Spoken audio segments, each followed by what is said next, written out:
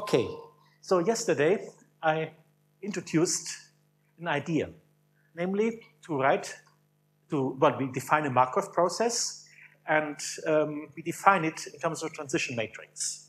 So really the idea is to write a process in terms of the matrix. And then we know we can do matrix manipulations, we can look for eigenvalues, we can make similarity transformations and so on. And this is the way then how we can say something about the process.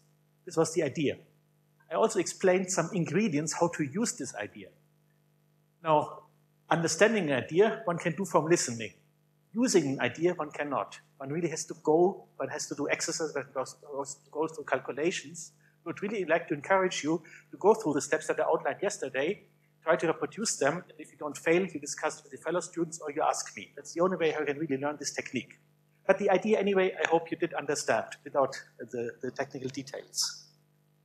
So this was the first thing, um, after explaining why we are interested in the problem in the first place. And then I introduced the model, the Katz-Lebowitz-Spohn model, um, which I will simply call KLS model. Now, I will not write it again what it is, but just remind you, um, it's a, I think, yes. so I will not go beyond this point. So the KLS model is a process where particles jump between k and k plus 1 to the right or to the left, but the rate depends on also what you have here.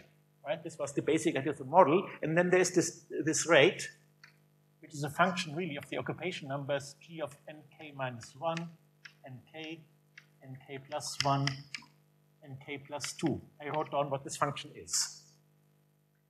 Okay, so we have the process now, we have defined it, and we want to say something about it. Well, first of all, I want to explain how to write this matrix, the generator. Um, again, I will just um, give you some uh, some basic ideas, not the details. Doesn't matter. Um, so, first of all, since it is a hopping that occurs on any pair of sites, we can write down the generator as a sum k from 1 to L individual hopping matrices, HK. These HK, again, will depend not only on K, but on all the neighboring sites here. Now, how do we construct this matrix? Well, we have the rates. Now, it is clear that the rate here will depend, let me just look at the part for hopping to the right. Hopping to the right.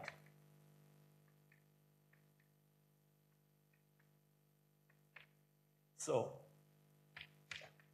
like this. You have a particle here, there has to be a vacancy there, and then there will be something here. It depends on what you have here and there. That's what the right, uh, function, the nature of this, of this function is. So first of all, in order for this to make sure that the hopping occurs only when there's a particle here and a particle there, clearly the, the g that corresponds to this, just the g plus, must have a term that's nk times vk plus 1 where again, Vk is 1 minus Nk. Okay, so this must be there. Because this term is 1 if and only if there's a particle here and a vacancy there. So if any other configuration is here, there will be no hopping to the right. That's ensured by this term in the rate. Then we said that there is a dependence on those guys here. So it will be multiplied by a function that I call gk of nk minus 1 and nk plus 2. I wrote down this function yesterday, what it is. Okay, so that's, that will be the rate for hopping to the right. And this was proportional to r, remember? So this was proportional to r. Similarly, we have a function for left hopping, g minus, which will be, has to have a particle here and a vacancy there, so it will be proportional to vk nk plus 1 times, again, a function, let me put the dependence on delta and epsilon here, delta epsilon, which is basically the same function except that epsilon is replaced by minus epsilon.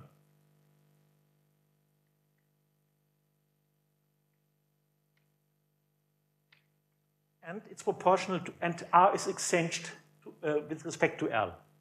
So this was, let's say, of R, here it's of L. So this is the structure of our transition rate G. Okay? It uses more, almost the same function, except that in, for the left hopping, we have um, epsilon replaced by minus epsilon, and the hopping rate R are replaced by L. So this is the rate of hopping out. Now, in order to write the generator, you need those matrices that transform the initial, um, the initial um, uh, configuration into the final configuration where x and y are interchanged.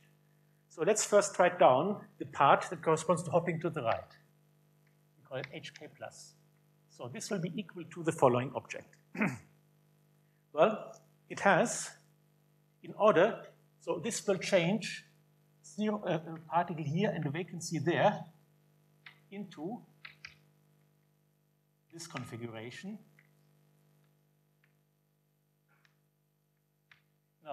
Which matrix does that? It's a matrix that's diagonal in the terms depending on sites k minus 1 and k plus 2. And it changes a particle into a vacancy and a vacancy into a particle. Provided, uh, okay, and what, what matrix is that? This is just the Pauli matrix, sigma x, it flips. So this will be proportional to sigma kx, sigma k plus 1x. This makes this flip. And then, well, it has to happen with the rate, g plus. And this will now be the function, will be exactly this function here, but with the occupation numbers replaced by the diagonal representation in, in matrix form. It will be this object.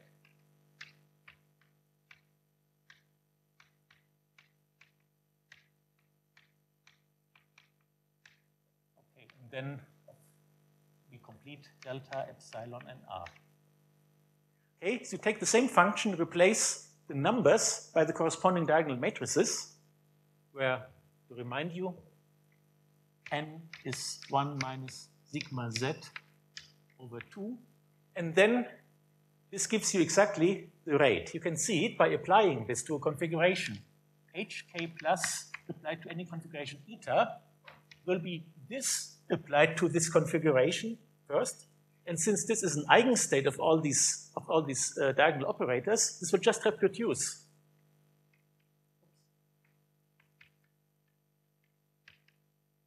exactly g plus of nk minus 1 nk nk plus 1 nk plus 2 delta epsilon r times this configuration eta. So that's the way how it works. You take a function, and in order to get the matrix form, you just replace the n's by the n hat operators. That's all then you immediately get this function. This is now a number. It commutes with this. So this will be equal to g plus times sigma kx, sigma k plus 1x, eta. But as I say, this flips. That means it just generates this g plus eta k, k plus 1 that introduced last time, which is the original configuration with the occupation numbers k and k plus 1 interchanged. That's precisely what we want. Because then we have that eta hk plus, uh, sorry, eta prime, eta, which is the transition rate here, this was the, the w, um, eta prime eta. Well, let's just apply it. It will be equal to eta prime g plus, which is a number, eta k k plus 1. So I can take this number out. Here use orthogonality, so I get g plus delta eta prime eta k k plus 1, which is exactly the hopping rate I wrote down yesterday for the right hopping part. And then you do it in the same way for the left hopping part, and then you have constructed the complete generator.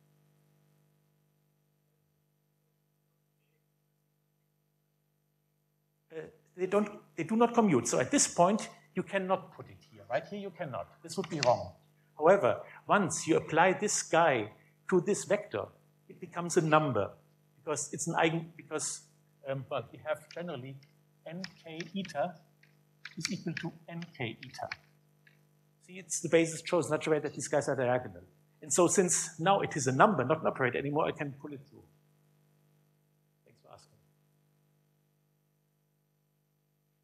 So the idea is clear? Okay, and this is the way how you can construct the transition matrix for each and every process. You take your transition rate, which is just a number which defines the process. You choose the matrices that make the transition for which this is the rate, and then you take the rate in this diagonal form times this transition matrix, and this will be your um, the, off-diagonal part of your generator, okay, the off-diagonal part. Now, how about the diagonal part?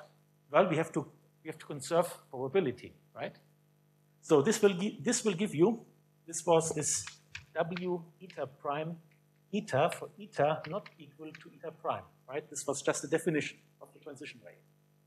Now we have to construct the diagonal part, this sum over all these eta primes.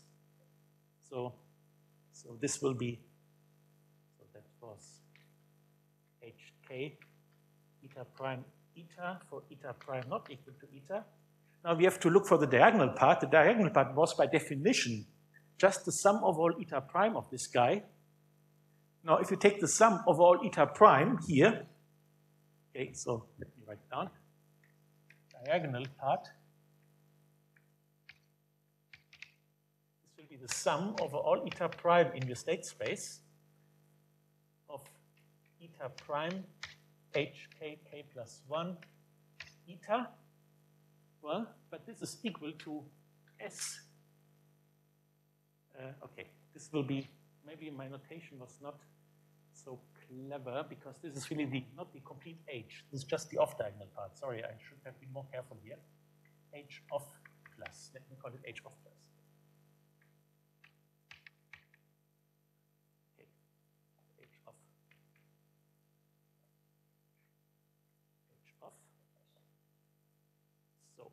Diagonal part, so let me call it, this will be H off applied to this, right? Now, again, this was just the way how we constructed Hamiltonian last time. The, the diagonal part is the sum of all eta primes. So I just write it down. The sum of eta prime gives the summation vector. H of k, k plus 1 eta, that's this. Now, h of we have here. So in order to compute this object, we just apply h of to the left. So, well, it is equal to this um,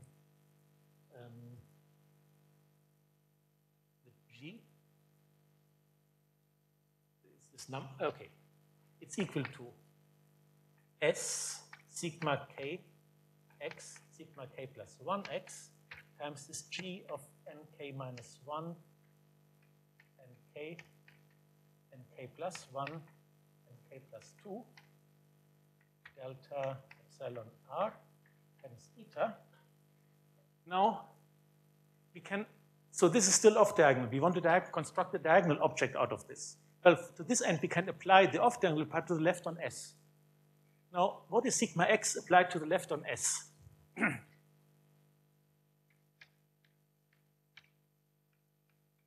well, to remind you, S was just the constant vector to the tensor power L, and sigma k was this 1 to the power k minus 1 sigma x tensor 1 L minus K tensor power. Now, the unit matrix acts on this one, just doesn't change it. So all we have to do is to apply this matrix sigma x on the kth component in this tensor product. So we have to compute 1, 1, sigma x, which is equal to 1, 1.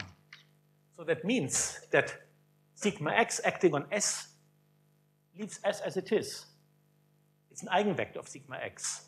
So this is equal to S g of nk minus 1 and k and k plus 1 and k plus 2 delta epsilon r eta. Okay? So this tells me that the diagonal part h k k plus 1 diagonal is just this bit here.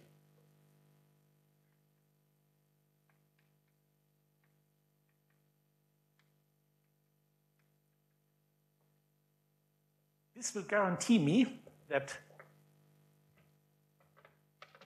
from this follows that H is equal to HK um, of minus HK diag. By the construction, you can see that this will satisfy S HK plus is equal to zero, which is exactly what you need for probability conservation. Yep. Bigger? Okay, yes, I'll try. anyway, so which part was it that you couldn't read? Ah, I see, okay, right, thanks, yeah. Okay, I'll try to pay attention. So, um, yeah, well, the subscripts here are always the same, right? It's always k minus 1, k, k plus 1, k plus 2, just what it depends on. And then the superscripts of and diag, I hope are read, readable, but anyway, I'll try now to be a bit bigger here. Um, so to summarize this, the off-diagonal part, I explained, the diagonal part simply is the rate itself written in matrix form. This is the upshot. So H diag is equal to G in matrix form, in diagonal matrix form.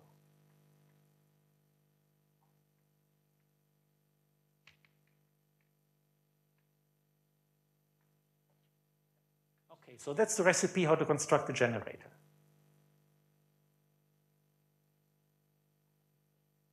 So you can write this, in this case, H plus K is simply sigma kx, sigma k plus 1 x, give the minus sign. Always, yeah. I'm sorry, this is always minus.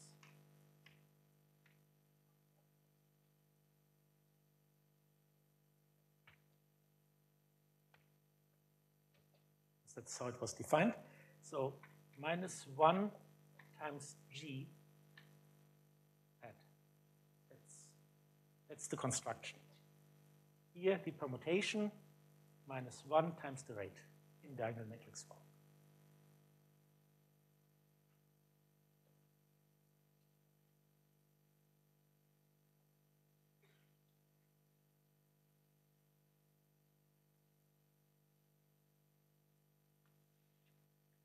Okay, so we have the generator I'll construct it.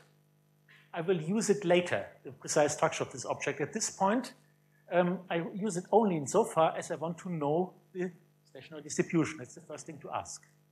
So, which is, so what is the stationary distribution?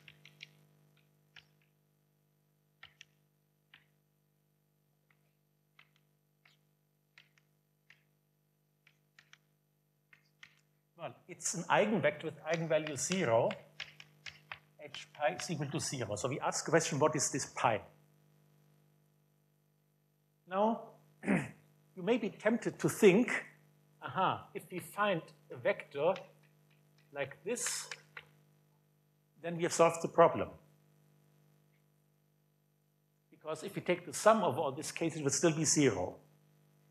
Well, it's true to think that finding such an object will give us an invariant measure. The only problem is that you will not find a solution to this problem, at least not for the general case. However, what you can try is the following. You can try the following ansatz. You look for something like this hk plus some diagonal matrix dk minus dk plus 1 pi is equal to 0. Right? If we, set, if we now take the sum over all k, we will still know that it will be, it will satisfy this condition. Because if you take the sum over all k, then by the telescopic property of the sum, this term will simply disappear with periodic boundary conditions. Because this will be diagonal matrices. Okay, so this is just an ansatz. These things are objects that we have to determine. So what do you do? What you do is you have to make two propositions. One is you must have some idea what this pi, pi looks like, and then try to verify whether you can construct matrices D such that this is true. That's the only way how you can obtain this, um, uh, this invariant measure.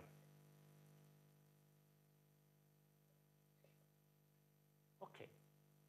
Now, okay. Uh, really one has to guess. That's what I want to say. There's no systematic way how you can construct this thing, at least not for big systems. So really one needs a bit of experience and of course good luck to find a solution to this problem. So, but how, how can one even begin? Well, one has to begin by making some assumption here on this guy. Now, the simplest assumption would be to say, well, this is just a tensor product. Well, you will see that you can solve the problem in this way for a particular choice of parameters. And I will show you later which. So it will not solve the problem in general. Okay, now what is the next best guess? Well, let me first write down what tensor product means. So try tensor product.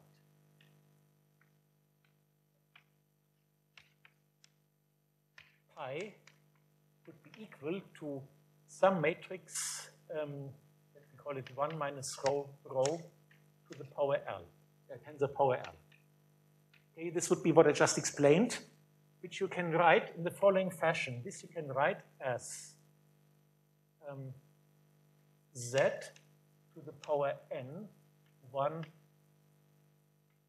times s divided by 1 plus z over l with z equal to um, rho, uh, no, sorry,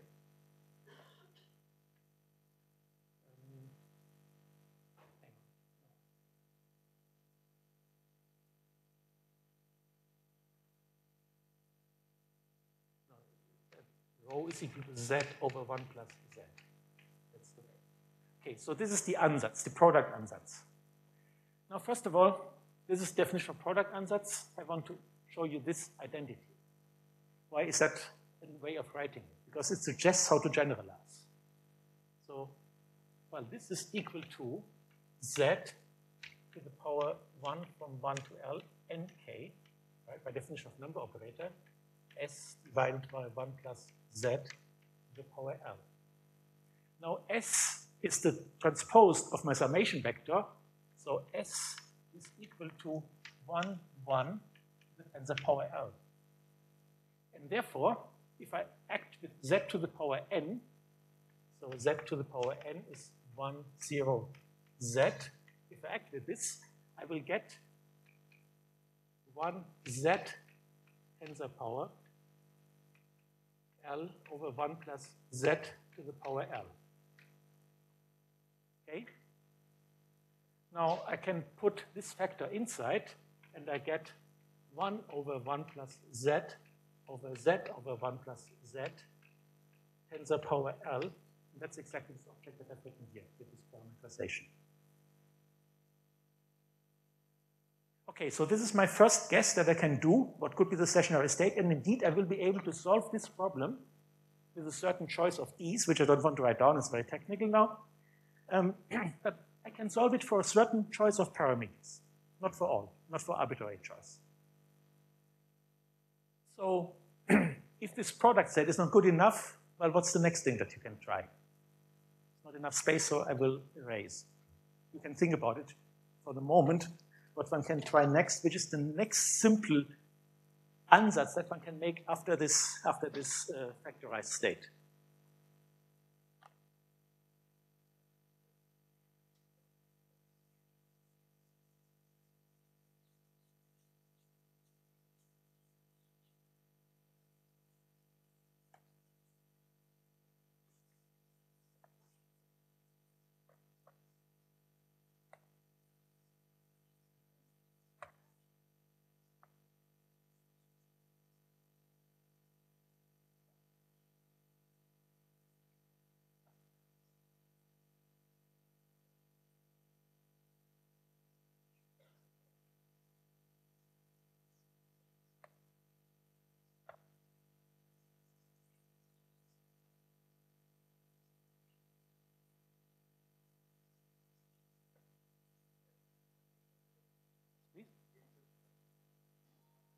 Yes, what is the question?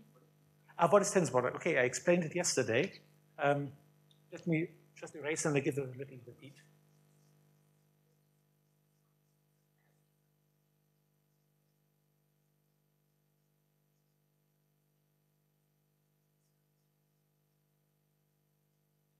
Okay, just to recall the tensor product. um, the tensor product between any two matrices, which don't have to be square matrices, they can be rectangular matrices, is defined as follows.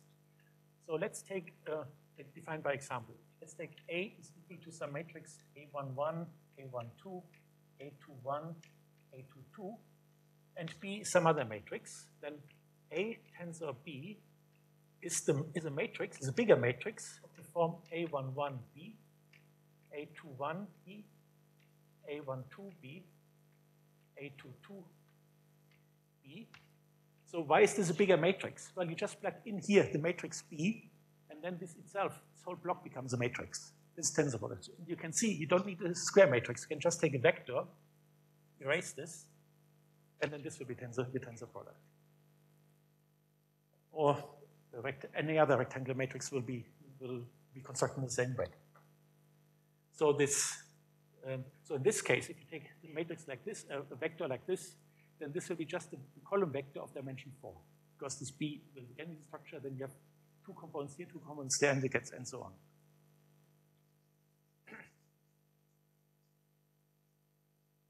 Okay, so this product ansatz is all right for sub or sub-manifold of parameters.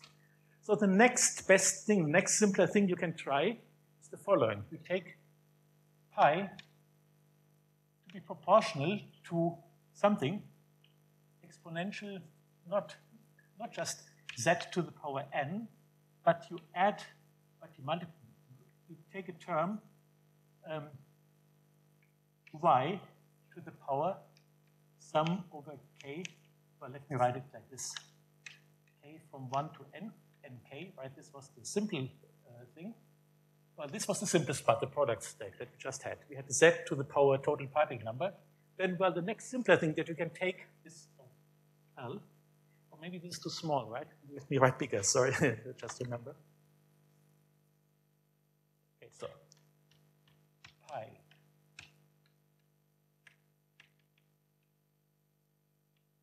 nk, that's what we just had.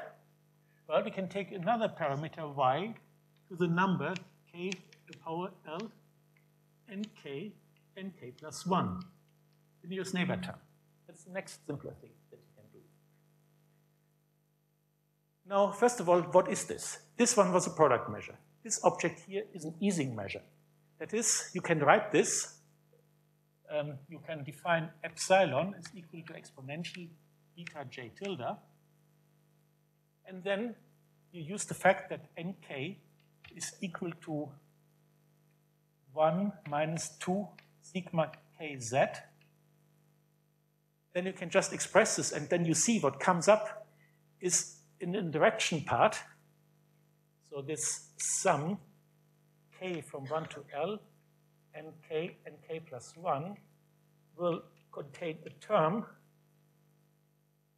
um,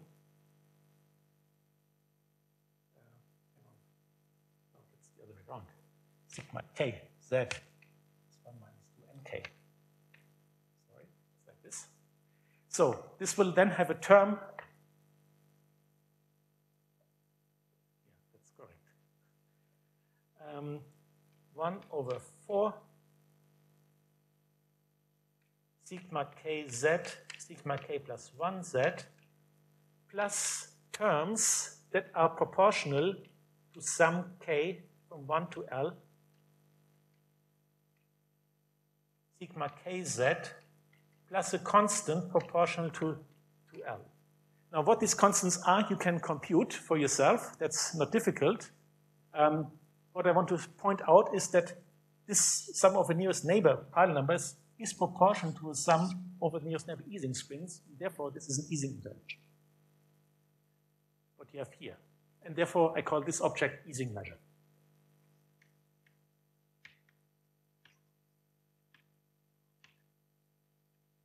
Now, this is a good candidate, a better candidate, because you have one more parameter to play with. You can adjust your y, or analogously your beta times j tilde. This is one parameter that you can use in order to solve the problem that I just wrote down. And you will find that it actually works. Again, I don't want to write down all uh, what you need, but I just want to give you the result. If you take beta ej tilde is equal to 1 plus epsilon over 1 minus epsilon, then for this choice, you will find that h pi is stationary.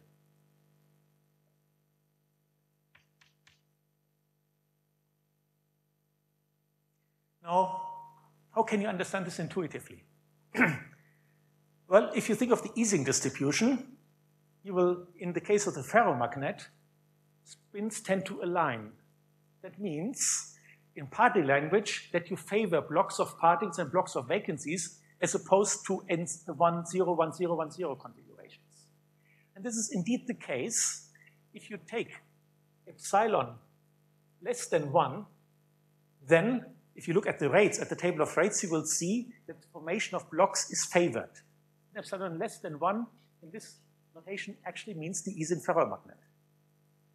On the other hand, if the Ising mode is antiferromagnetic, that is, if this J is negative, then this corresponds to positive epsilon, where the interaction is repulsive, where you try to separate particles. So you will favor 1, 0, 1, 0, 1, 0 configuration. That's exactly what your rates do. What is perhaps surprising is that the parameter delta doesn't enter. But then, if you look at the delta in the rates, you will see that, the, that it does not uh, that it does not depend on how many pairs you have in the transition. The delta will always be the same. Um, so we had this transition 0, 1. This was proportional to 1 plus delta. Um, then there was 1, 0, 0, there was 0, 1, 0. This was um, r times r times 1 plus epsilon, r times 1 minus epsilon, r times 1 minus delta. This was just the right hopping part, right? You see, the delta just depends on the number of particles in the environment. It's 0 here, it's 1 there, and it's 2 there but it does not depend on the number of pairs. So it's insensitive to the number of pairs, and that at least gives you some intuitive understanding why the delta doesn't appear in this measure. Of course, this is a bit coincidental. There can be other processes where you could try to use the same argument and it wouldn't, be, wouldn't work. So it's an argument you can use a, a posteriori, but not a priori. It's just something that gives you the idea that your terms might not depend on delta, which is something that you need to put in. You see, I wrote down this ansatz. This ansatz has many parameters. It has, uh, so you have to have some clever idea how to simplify the problem. Of course, you can put in Mathematica and it will give you the answer. But if you want to do it by hand uh, in a more clever way, you have to put some input, see where that works. It doesn't work, you make it more complicated, right? you start with the simple thing. The simple thing is to assume that there's no delta dependence, and you will find, ah, it works. That's, that's the trick.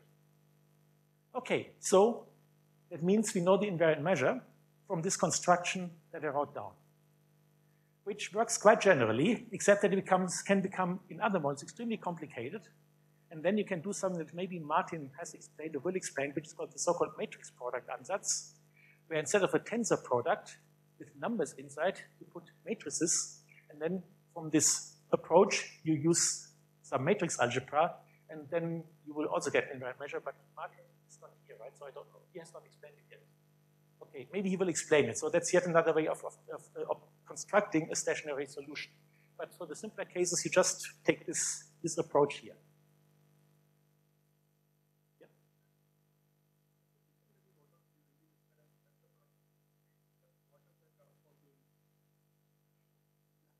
Okay, here it's epsilon equal to zero, because then this ratio is one. That means that j is zero, j tilde is zero, and that means that the Ising part of interaction um, will be will be zero. You see, then y is one, and this guy just disappears. And this was the case when epsilon is zero, right? It was this one where this would be just equal to one, and then the right and left hopping would be equally likely, so that means that whether or not you form bonds or break them doesn't matter.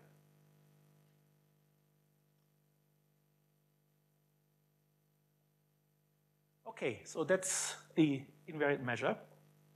Now, the Ising model is something that you associate with equilibrium physics, right? In particular, this you would normally call the equilibrium distribution of the Ising model, this object. But I stressed last time that you cannot talk of equilibrium unless you know the process that's associated with it. And indeed, you will realize that this process does not satisfy detailed balance. H does not satisfy detailed balance in general.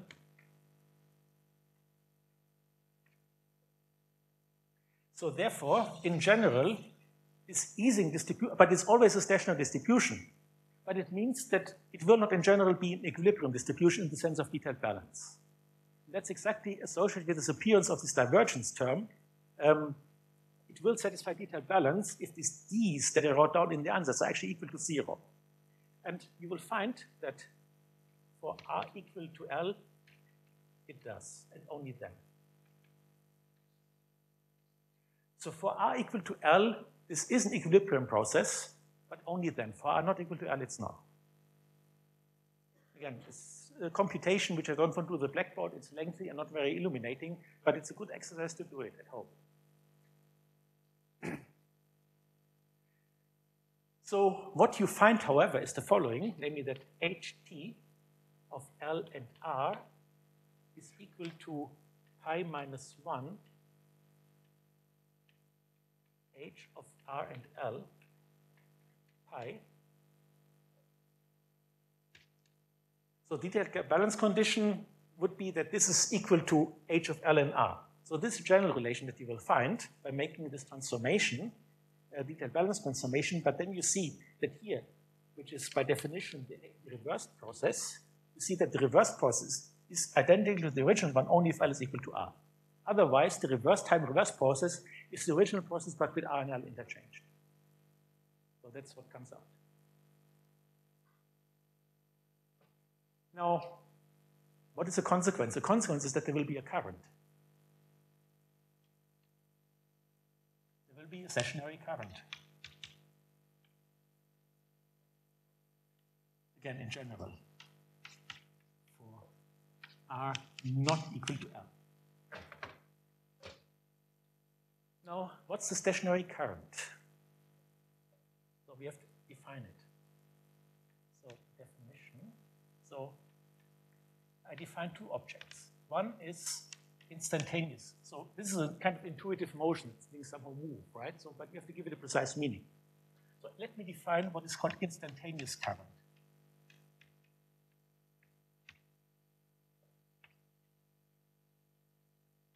instantaneous current is a, is a function of the configuration J um, be, between sites plus 1. So you have again your lattice here, K and K plus 1. And tiles can jump, and instantaneous current simply is the rate of hopping to the right minus to the rate of hopping to the left. So this jk is this gk plus minus gk minus of my configuration. Uh, let me write it down perhaps for clarity. Nk minus 1, nk, nk plus 1, nk plus 2, delta epsilon r minus the corresponding object for the, for the right, j minus of these parameters. But then I explained that this is the same function except that you replace um, epsilon by minus epsilon, r by minus, by minus uh, by, by L. So it would be equal to jk plus of nk minus 1, nk, nk plus 1, nk plus 2, delta epsilon r minus the same function, jk plus of nk minus 1, nk, nk plus 1, nk plus 2, delta minus epsilon and L. So that's what this instantaneous current is. Rate of jump to the right and minus to the left. You can imagine that this will somehow count the number of jumps that you get. So if you integrate the process over time, if you look at the process over time and just count the number of jumps, then it will somehow be proportional to exactly this difference here. That's the intuition behind it. And then the stationary current definition, stationary current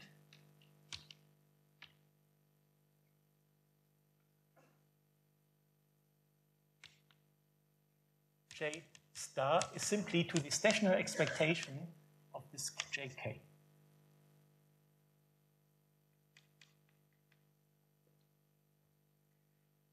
J, star.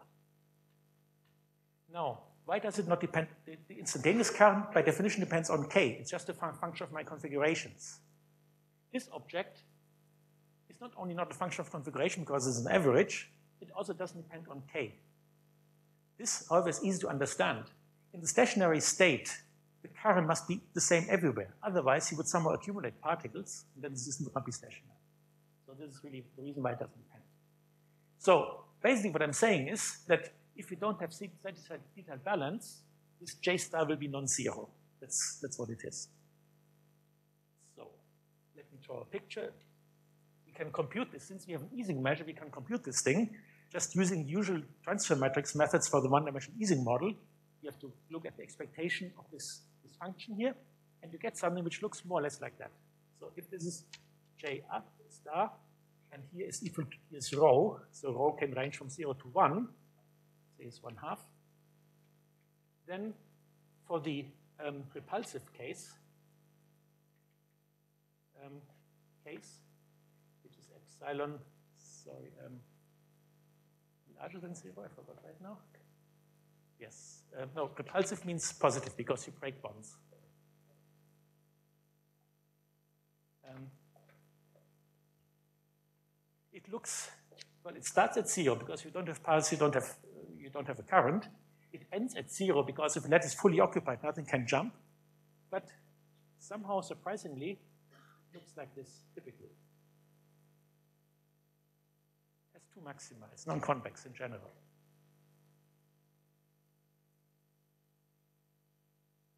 There was a question about the epsilon. Shall I explain again?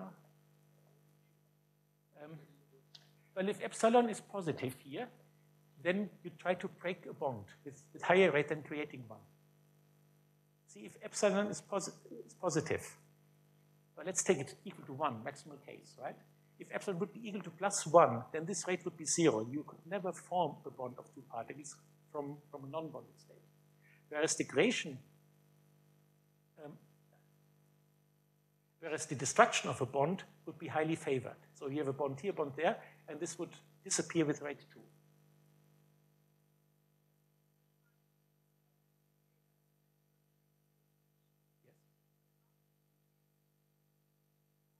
Yes, there will be, but I will discuss this not today, but tomorrow.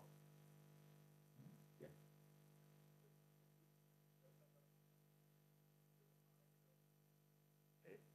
No, the delta is, doesn't, doesn't matter. Delta can be anything. It's independent of R and L.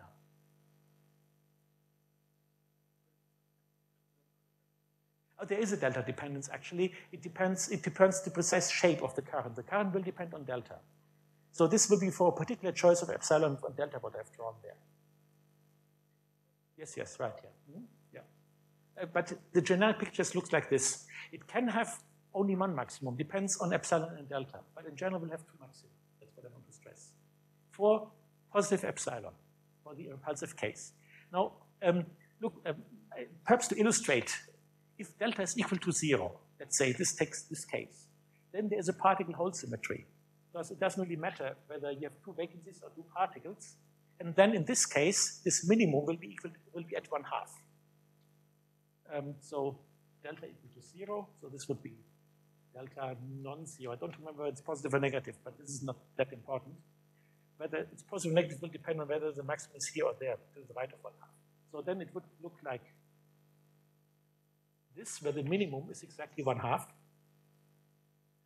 And whether or not there is a minimum, that depends on how strong epsilon is. So this would be for sufficiently strong epsilon. For very uh, small epsilon, there would be no minimum, it just convex. Okay. Now, for attractive case, epsilon less than zero, then there will never be two maxima. It will always look like something like this.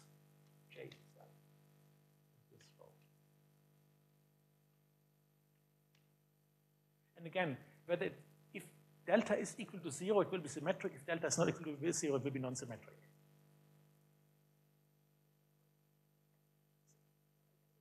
Rho is the density that I put into my system. Yeah, yeah, mm -hmm. right. So rho is, is n over L, it's conserved.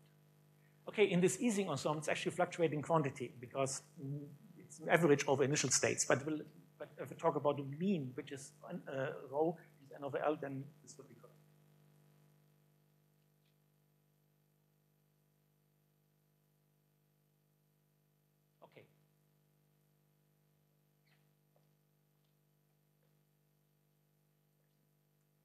At this point.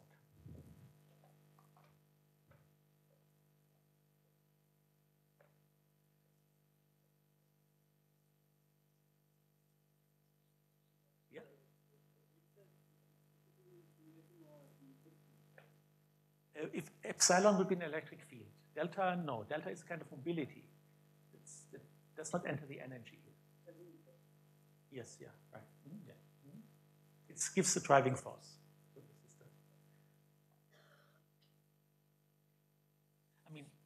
it's, well, okay, look, depends on how you interpret. Um, really, R minus L, the difference, this is really a field that drives. And the epsilon this is more like an interaction. I mean, um, electric field is uh, perhaps not the right word here. You see, the current is proportional to R minus L. So even when R is equal to L, you will still have the epsilon. So we still have an Ising measure.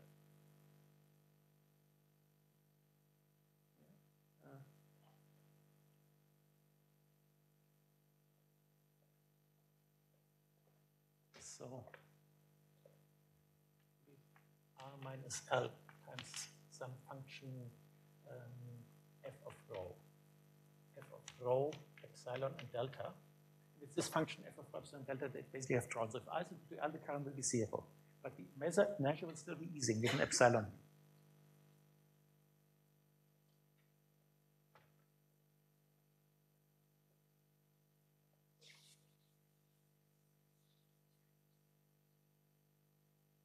R equal to L, by the way, and delta equal to zero, this is Kawasaki spin change in the dynamics, in case uh, for those of you who know what it is.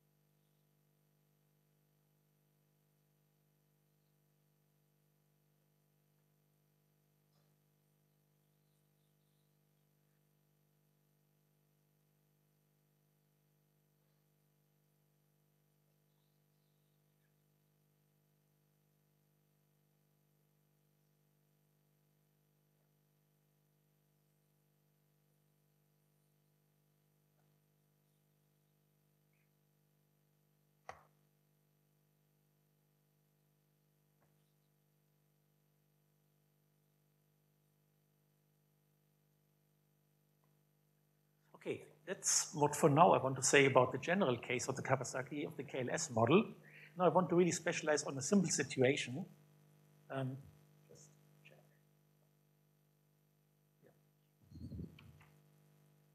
Um, so now let's take epsilon equal to zero first. As I mentioned, the stationary distribution will be a product state irrespective of delta and irrespective of R and L. It will have this current that I've shown. Um, well, it will have a current. For epsilon equal to zero, this current, well, you can compute. It will be just a parabola.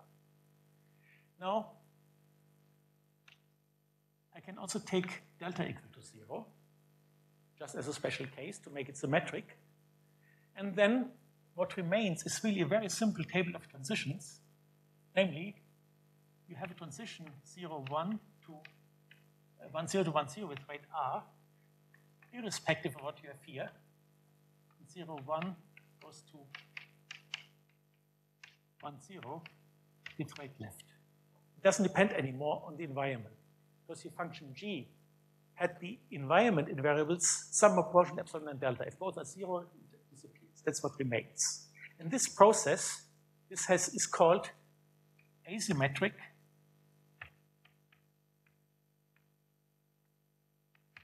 simple exclusion process.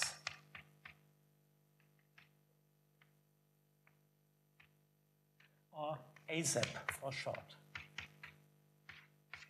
Now, asymmetric, if R is equal to L, if R is equal to L, we call it symmetric simple exclusion process, SSEP. And if, let's say, L is equal to zero, then there's no jump to the left, and we call it totally asymmetric simple exclusion process, ASAP. Same for I equal to zero, of course. It's totally asymmetric, it's TASEP. So this is really a very simple process. Let's just jump to the nearest neighbor site, so they perform a random walk, provided the nearest neighbor site is empty. That's all. And we know already that the invariant measure is a product measure. Exclusion means that you can only one particle per site. So all these processes, like the KLS model, are exclusion processes, and this is a particular version of it. So exclusion process I use whenever you can have at most one particle per site. Okay, so we know the, the invariant measure. It's a, it's a, a family of product states. But um, now I really want to construct explicitly the states with a fixed particle number. So again, we have this rho, which was this 1 minus rho, rho tensor power L. Okay, this is satisfies h rho is equal to 0. And h you can really write down in a very simple fashion now it's equal to minus sum k from 1 to L r times sigma k plus sigma k plus 1 minus minus nk bk plus 1 plus L times sigma k minus sigma k plus 1 plus minus bk nk plus 1.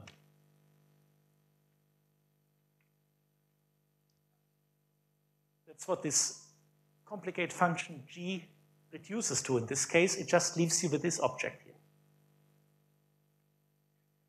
Now, let me write it for the symmetric case specifically, r equal to L equal to W.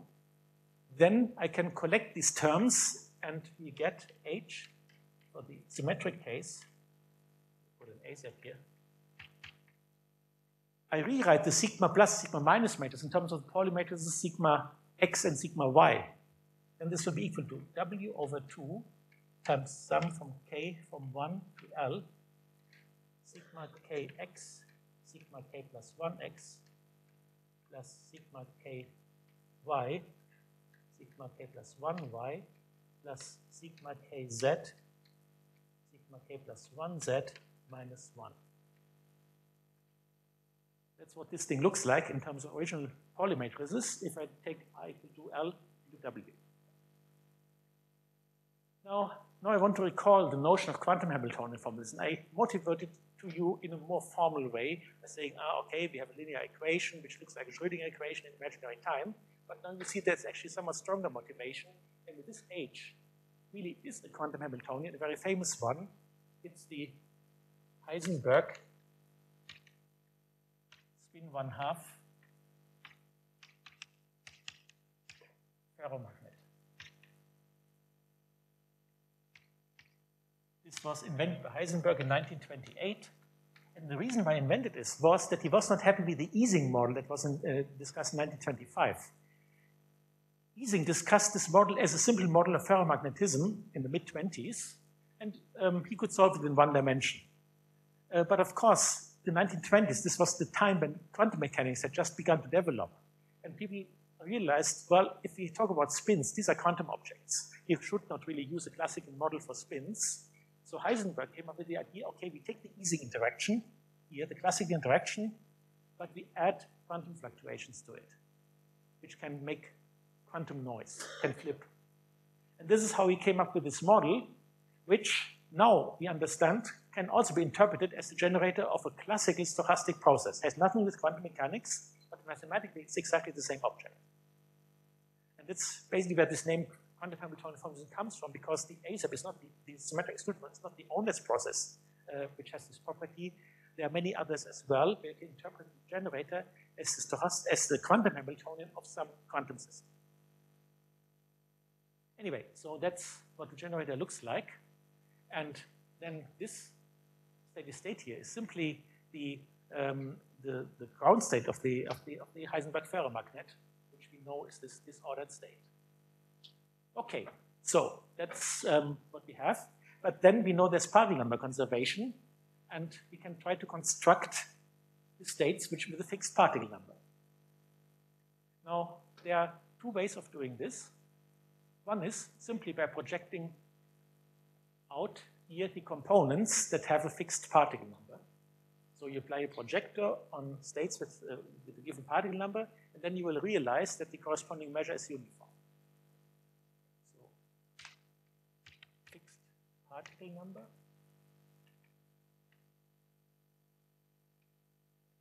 Is pi for given size is uniform, and particle number is uniform. There's another way of seeing this using this representation of the, of the quantum Hamiltonian. We know that the steady state doesn't depend on R, on R, on R and L.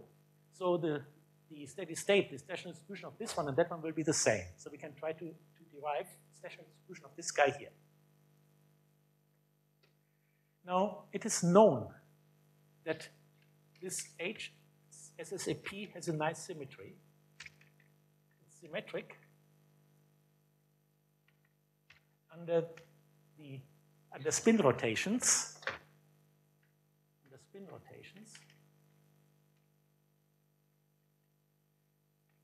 Means it's symmetric under the action of the algebra SU2.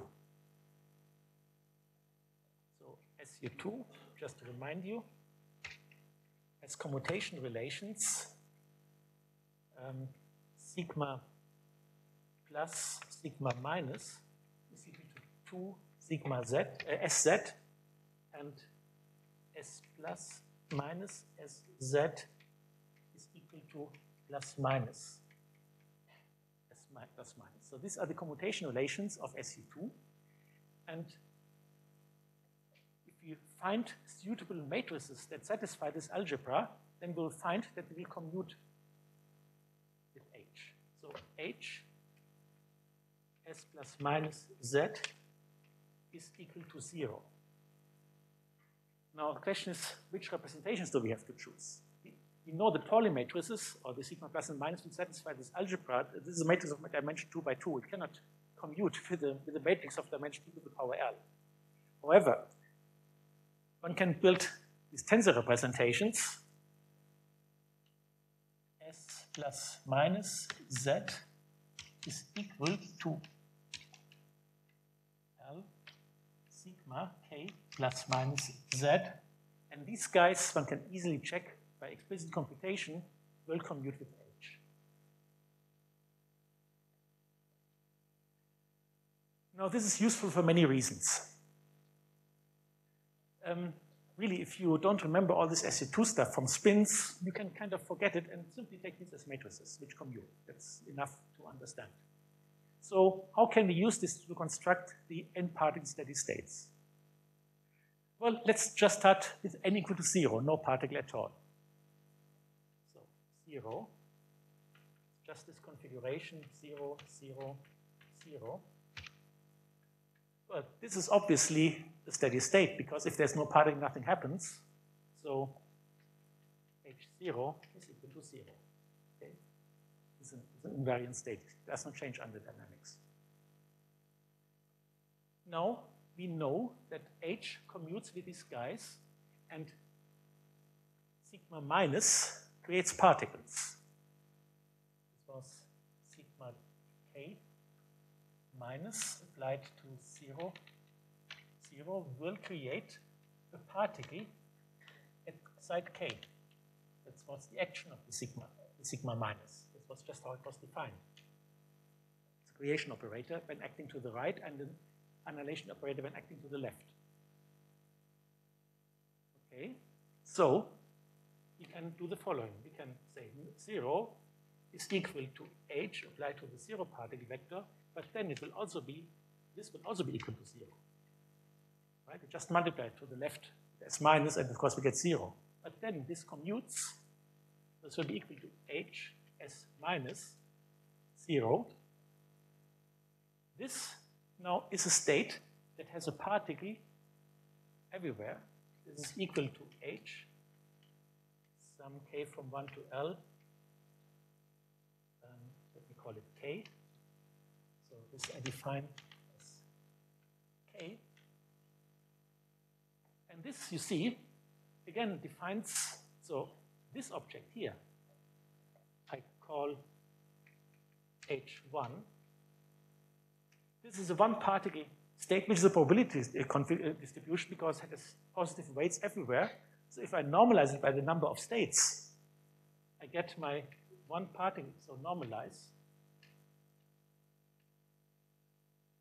1 over 1 star, I define as 1 over L times the sum k from 1 to L, k.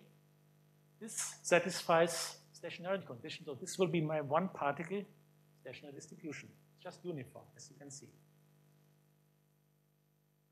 So now I can continue. I can multiply with s squared.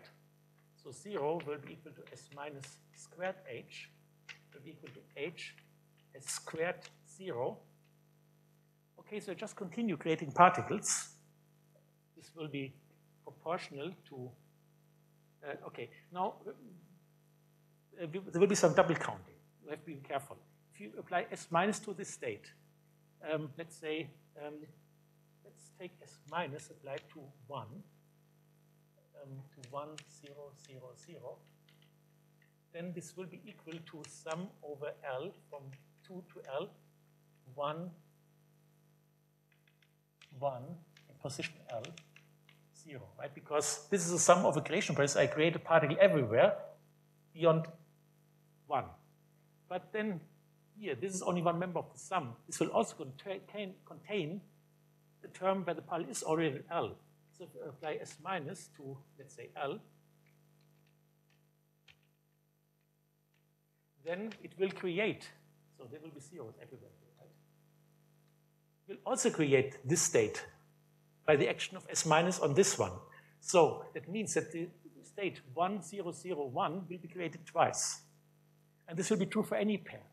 So I actually have to normalize this by 2 to get something where each configuration occurs only once. So this will be equal to H2 where 2 is just this sum, k from 1 to L minus 1, and L from 2 to L, KL, which has one particle side k and one particle side L. Now we have to count the number of particles to normalize, and then we find that 2 is equal to 1 over L choose 2 times 2. This will be the stationary, the normalized stationary two-particle distribution. Two-particle stationary distribution.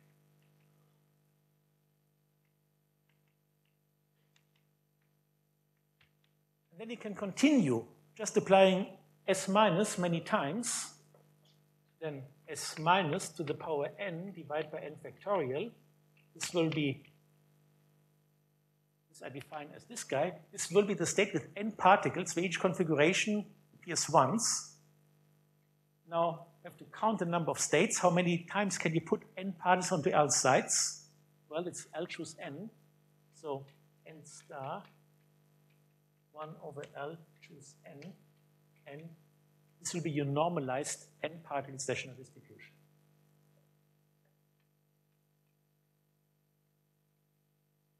So that's another way of constructing your uniform distribution, not knowing that you already have this product measure. And then, of course, you can go back and construct the product measure by taking linear combinations of those fixed particle number distributions.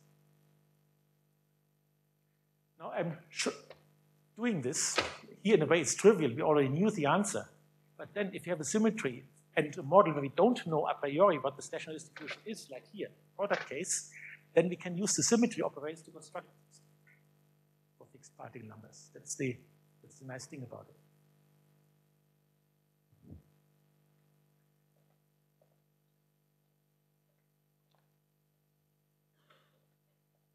But then I can use this as a, as a two symmetry for even more.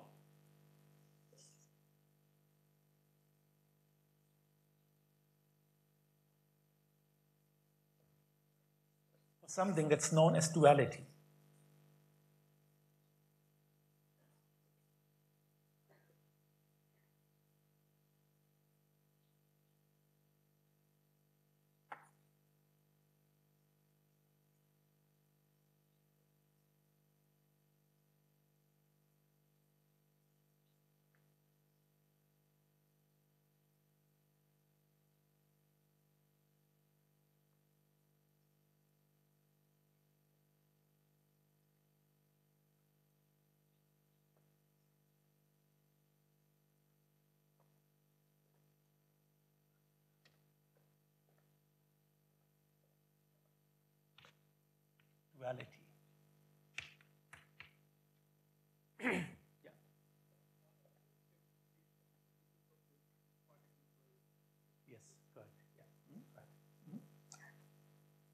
Fairly easy one. I can explain to you afterwards.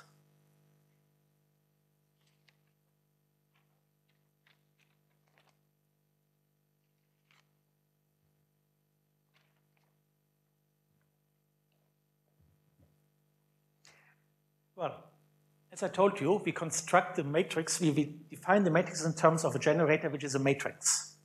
Now, if you have matrices, well, you can do many things with matrices. You can make diagonalize them, you can make general similarity transformations. So imagine now, you can make a similarity transformation mm, with some W, H, B, where this is a stochastic generator,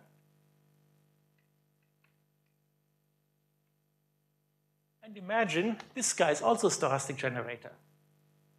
Then this will be a different matrix, and therefore it will be microscopically a different process. But clearly, these two processes will be very closely related. If you have know something about this process, then just by making a transformation, you can get information about that process. The same will be true if H tilde, uh, if H transposed can be written as a similarity transformation, say um, D, h e minus 1. Again, if this is a stochastic generator and the transpose of this guy is 1, then again, information about this will give you information about that process, even though through the transformation they will be microscopically quite different. So more generally, I can define the duality as follows. Definition, duality. Suppose I have a matrix D times H is equal to G transposed times D.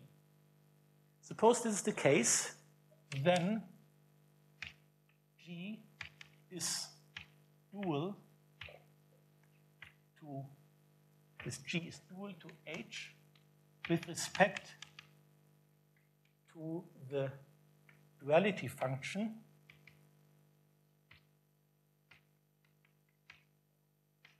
E of um, eta and x, uh, sorry, no, x and eta, where e of x and eta are nothing but the matrix elements of this duality matrix. So this is the definition of duality. Now what does it imply? It implies that this E does not even have to be uh, uh, um, a square matrix. It can be a rectangular matrix. If this is a rectangular matrix and this is a square matrix, then this will again be a square matrix, but of a different dimension. So we can actually relate processes with different state spaces to each other through this intertwining relation. Now, this is just a definition. How can we use it?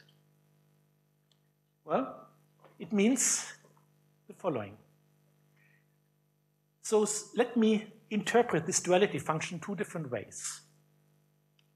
Interpret d of x and eta in two ways.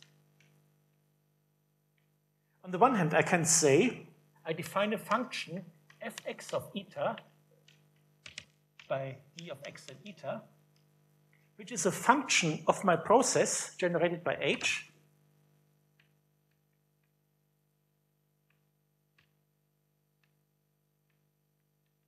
And so it's just some function of my variables for the process generated by h, but I index them by, by this variable x.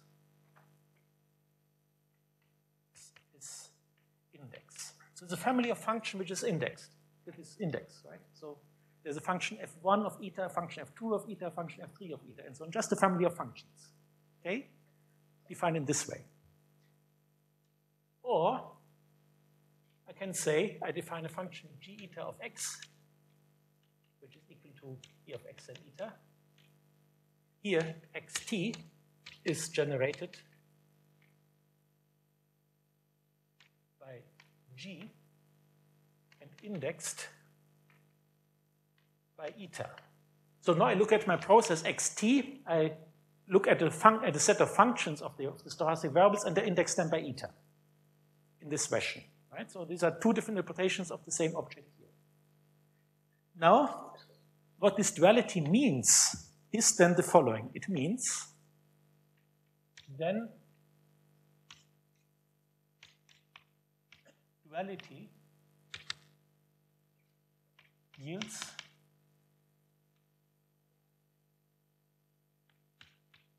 fx of t eta is equal to g eta of t x. So I start my process, eta t with the initial configuration eta, and I measure the expectation of my function fx at time t.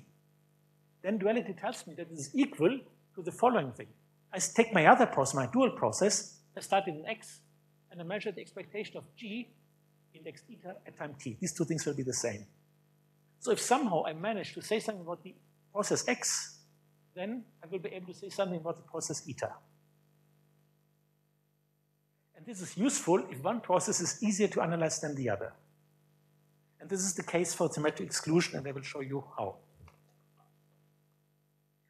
That this implies, is followed, uh, comes from duality again, is a little calculation that you have to do, um, which we can do perhaps in the afternoon in the, the tutorial, um, which is quite straightforward, but um, I don't want to go show it here because it's fairly just a sequence of equations, qualities. So this is really what the concept, this is what one has to understand that duality means this, this relation between expectations. That's the use of it. okay, so, um, well, how can we use that? Well, let's take again this, this metric exclusion process. We know that um, for instance, S plus H is equal to zero, right? And then, of course, any function of S plus of H will be zero. Also zero, okay? So in particular, now of course I'm telling you something that you would not normally guess, but you will see soon where it comes from. So in particular, exponential of S plus H will be equal to zero.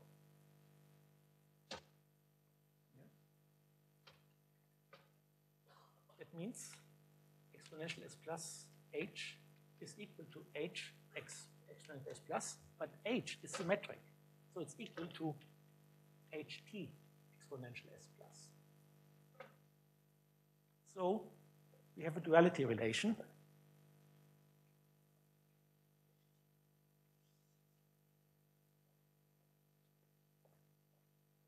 So first of all, this process is self-dual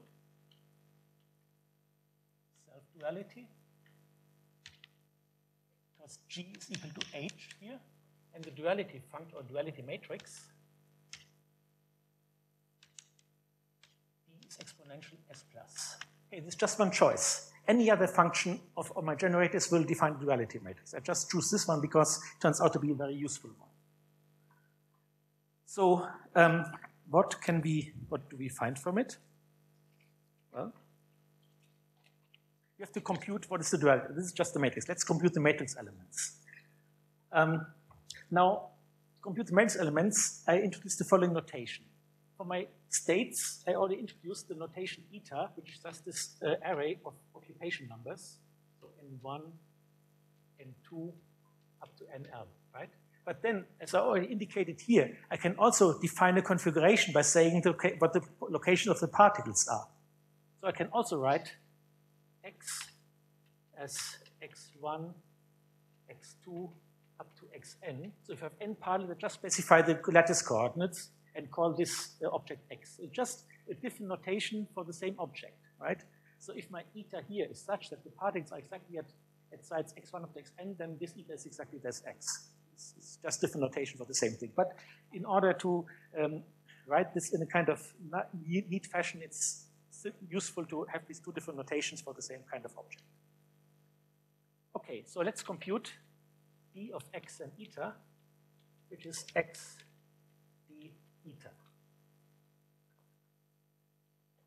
Okay, so first of all, d is the exponential of s plus. s plus is a sum so d is actually exponential of the sum k from 1 to L sigma k plus. But then, since all these sigmas commute among themselves, this general property of these local operators, this can be written as a product, k from 1 to L, exponential sigma k plus? Now, sigma plus squared is equal to zero. So the exponential of this object is actually very easy to to calculate.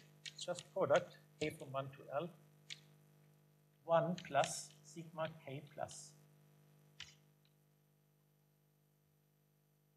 Since sigma plus is equal to 0. We destroy particles twice, it, it cannot happen. Okay, now from this, we can quite easily compute what this thing is. Namely, it implies that my empty lattice, 0 times 1 plus s plus k will simply be equal to um, oh, sorry, not this. Uh -huh.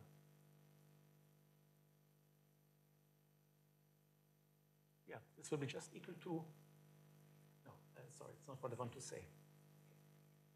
Um, just take a single site and then my state zero for a single site will be just this vector. And if I apply 1 plus s plus, it will just give me 1, 1. Okay, so that's one ingredient that I know. And then if I do the same with the one particle state for one side, then 1 plus sigma plus, this will be equal to 1, 1 times n, times my number operator. I can easily verify these relations. And then by using this and using the product structure, you can see that this d is actually equal to the product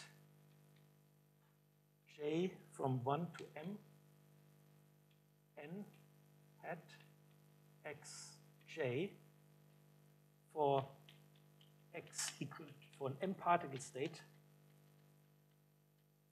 m and eta arbitrary. So that's my duality matrix.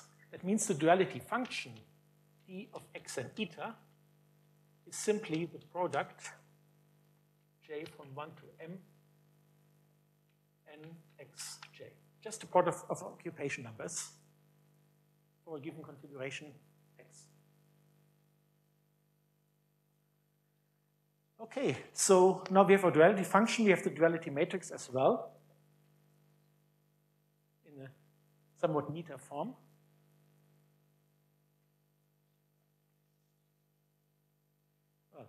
should perhaps not, this would be the diagonal form of the duality function, actually. Let me put it like this, it's not equal to this one.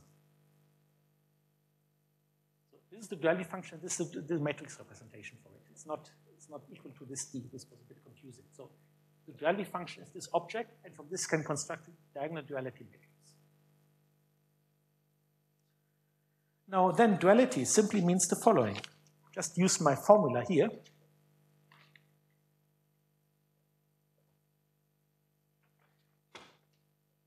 And oh, I will not read this. Uh, uh, okay, let's try.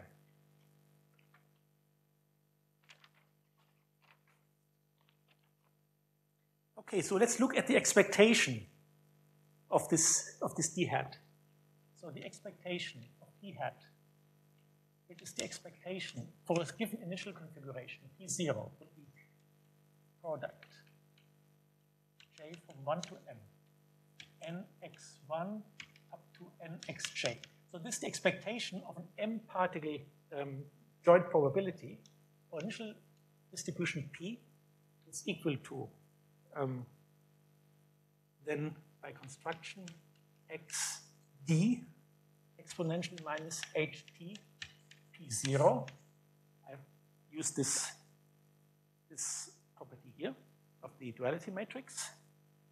Then by duality, this is equal to x exponential minus h transpose t d p0. Now, what I can do now is I can introduce the complete set of m particle states. y x exponential minus hpt y y d p0 Now, this here, this is the transition problem. Okay, this I can transpose.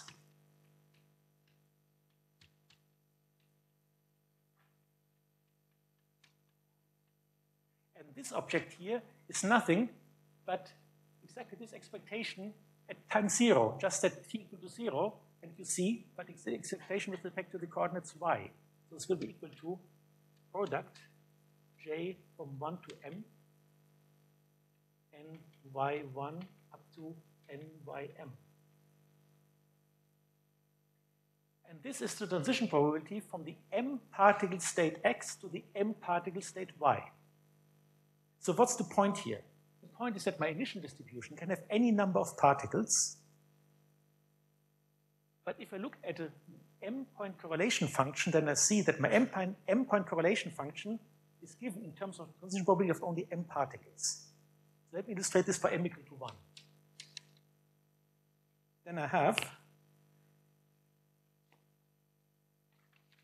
well, just take this example, product nx for initial configuration p at time t, so time t here.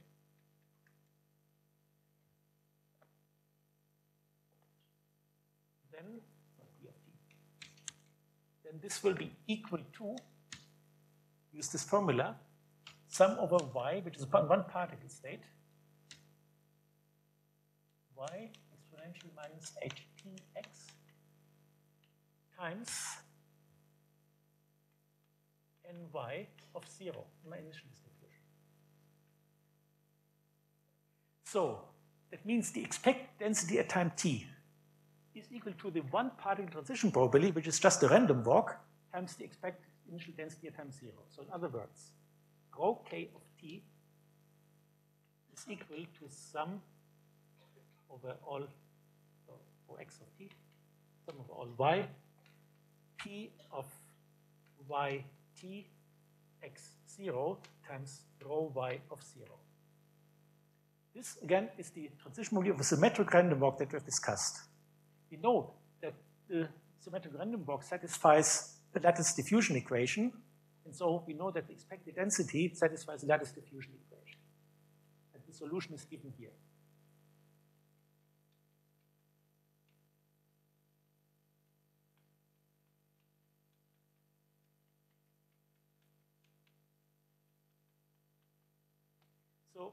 This is the final conclusion, which is a very surprising one. So I, no, I cannot read easily. Let me say in words. Rho x of t again, is equal to the transition probability of x times to y times rho y of 0. And therefore, the time derivative of rho x just satisfies this lattice diffusion equation. That's what's written here. Like, because the transition mode of a single random walk satisfies this equation.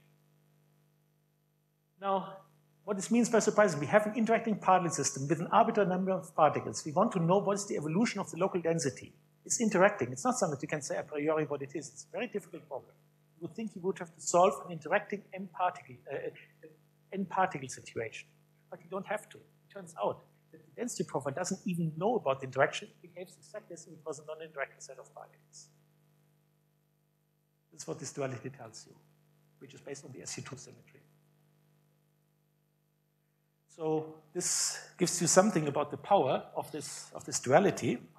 Uh, of course, it's a bit of a coincidence. It will not be true for a system that's not SU2 symmetric, um, but it gives you some insight, namely that the evolution of the density profile has something to do with diffusion.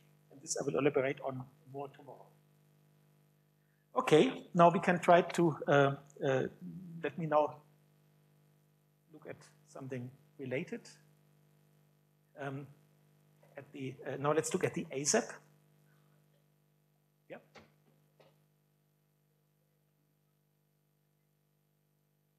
It's not a correlation one, just the density. The expected density. Hmm? Sorry?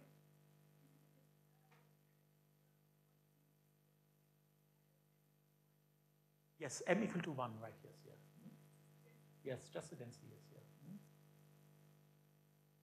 Yeah, I realize it's really impossible to read from here. Sorry. Okay, I hope you got the message just from my birds.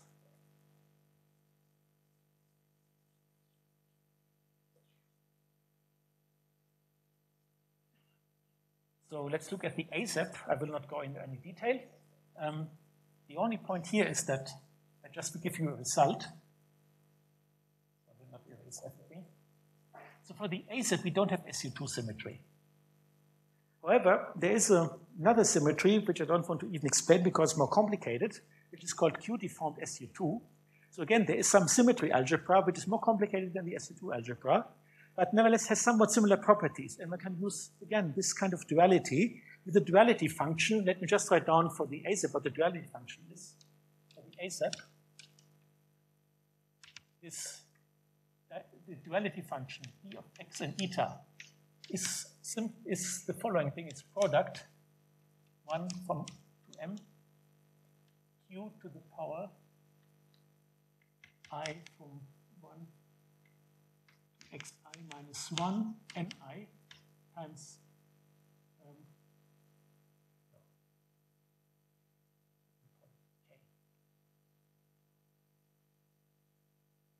nxk. So it's a product of occupation numbers, but not just the product occupation numbers, it's also multiplied with an exponential of the number of particles up to site uh, k. That's what that expression means and Q was this hopping ratio R over L. Q is square root of R over L.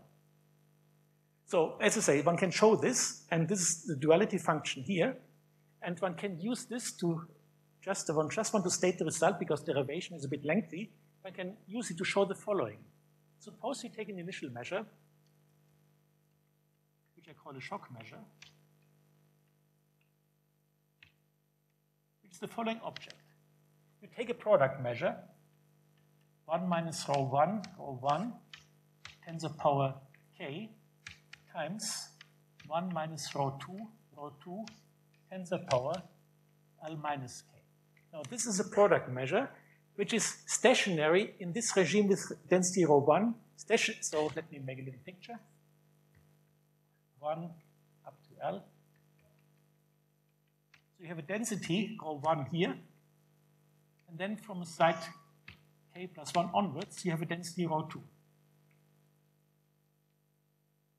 So this is rho of k. So it's a product measure where you jump with your density from one value to the other at the site k. And so it's stationary in each regime, because we know for the ASEP the product measure is stationary, but of course it's not stationary here. So this will not be a stationary profile, this object, this product measure, but it's a, it's a shock because the shock is, is, is a density discontinuity. So if you look at it on a very macroscopic scale, you will see something like like a step, right? That's what this is. If you really make the lattice spacing very small, you will just see this kind of structure. Now, what the duality tells us that, let me call this thing uk, then if I evolve it exponential minus mu k, this will be equal to a linear combination L, P of L T K0 mu L. Will be a linear combination of such shock measures with a transition probability that's again a random walk transition probability, but in this case it's biased random walk. So what does that mean? If I start from initial configuration that looks like this, and at a later time, I will always find initial configurations of this type, except that the shock position here, this will have performed a random walk. That's what it means. So it means that the shock remains stable performs a random walk.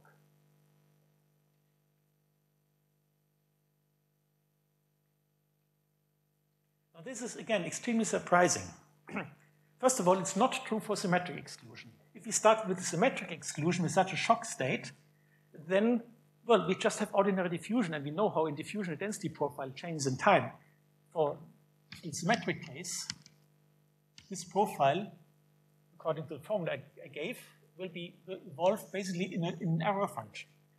So I time t, right? It's just the diffusive flow of a step in this case, in the asymmetric case, it will not be like this at all. What is the case is that this shock always remains a shock, but the shock position is just somewhere else with the transition probability of a biased random walk. So a shock is stable in the ASEP on this microscopic level. The only thing I should say is that this rho 1 and rho 2 are not free parameters, namely, they have to satisfy this condition, rho 1 times 1 minus rho 2 is equal to q squared. That's all. Uh,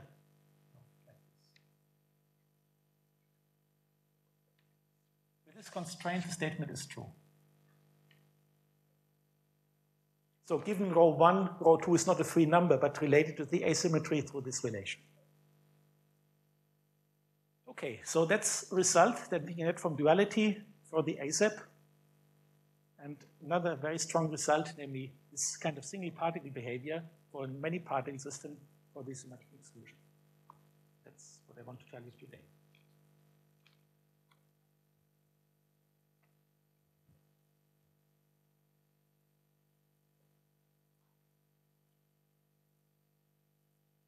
So tomorrow we will investigate these properties and ask whether they're more general than just in these specific cases for the for symmetric and asymmetric exclusion.